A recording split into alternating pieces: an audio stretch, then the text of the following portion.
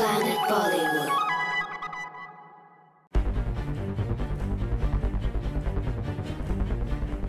सलमान ऐश्वर्या की जिस मुलाकात का था, हर किसी को इंतज़ार वो मुलाकात नहीं हो पाई।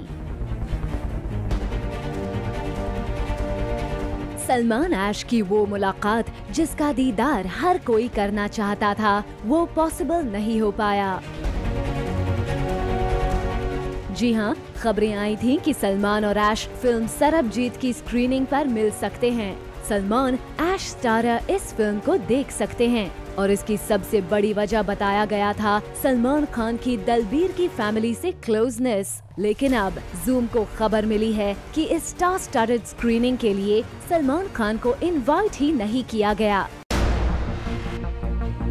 जी हाँ सलमान खान इस स्क्रीनिंग के गेस्ट लिस्ट में शामिल ही नहीं थे।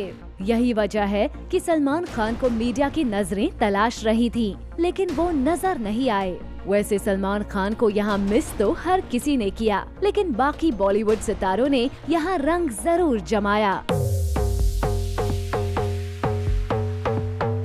इस पार्टी में हमने स्पॉट किया Bachchan family Randeep Hooda director Umang Kumar Sooraj Pancholi Athiya Shetty Riteish Deshmukh Daisy Shah Manish Paul Neil Nitin Mukesh Mika Singh Richa Chadha Sarabjit की family Kartik Aaryan Bharti Bhushan Kumar with wife और काजल अग्रवाल जैसी celebrities को।